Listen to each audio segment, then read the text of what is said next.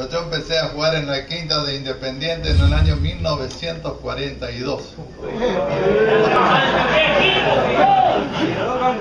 Este, y jugábamos, no tenía Independiente, no tenía cancha, creo que todavía no tiene, ¿no?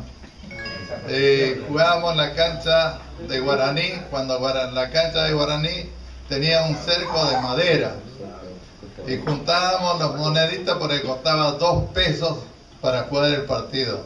Por una, las dos horas costaba dos pesos. Así que, imagínense. Y bueno, así que me gustó el fútbol. Lamentablemente cuando regresé de, vine a Misiones, tuve un accidente de automóvil y me rompí la, la rodilla izquierda. Y bueno, terminó mi... y me dediqué al golf. Y hasta hace dos años eh, tuve, tuve la oportunidad de jugar golf. Este, así que hice bastante deporte, también hice, eh, jugaba al básquet en Rivadavia Junior, en Santa Fe, hice atletismo. Y bueno, acá me ven con 80, caminando los 85, este, pero con que yo los felicito. Este, me emociona, digamos, saber que están contentos con esta, esta sesión del predio, están motivados.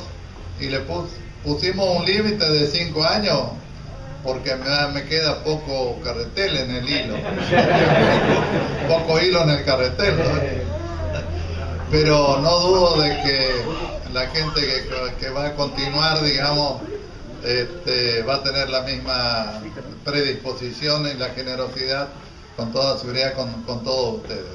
Esto no es solo un club, es, una, es un club de amigos.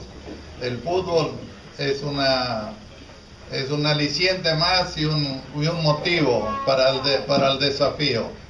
Y ustedes ya son no solo presentes, sino son parte del futuro, porque eh, se empieza así, de abajo, y hay que ir creciendo de, de, a poco y con toda seguridad, como tantos otros clubes que, que eh, empezaron de la nada y hoy son, son verdaderas instituciones, el sueño de ustedes se va a hacer realidad.